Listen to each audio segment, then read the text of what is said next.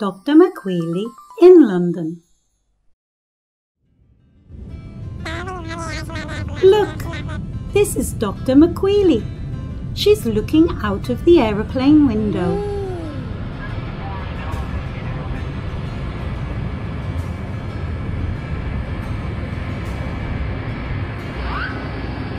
The aeroplane has lowered its landing gear, which means it's going to land.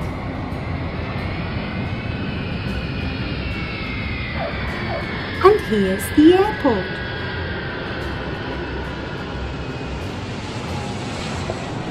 Dr. McWheelie has arrived in London. Now she's crossing the road to get on a sightseeing bus. Before you cross the road, you need to look to the left. But oh! Why did this car come from the right? Dr. McWheelie did not expect this. Why did it? And then she realised. In most countries, cars drive on the right side of the road, but in England it's different. There, the vehicles drive on the left side, so before crossing the street, you need to look to the right first to see them coming.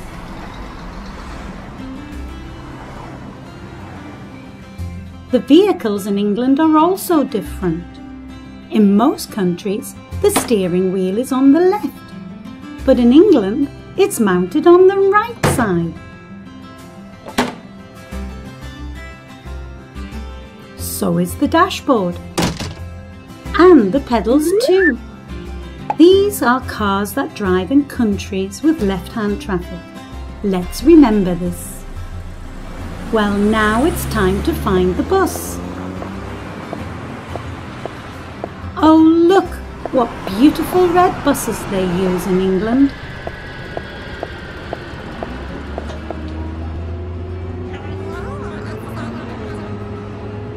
They are called double-deckers.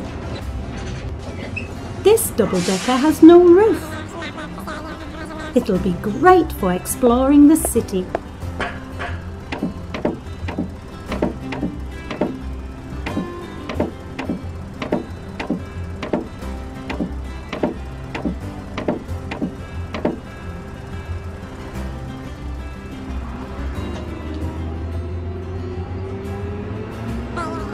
Exploring new cities is a lot of fun.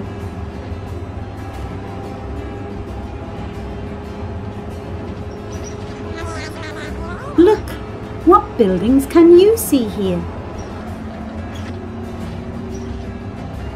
Please write the ones you know in the comments.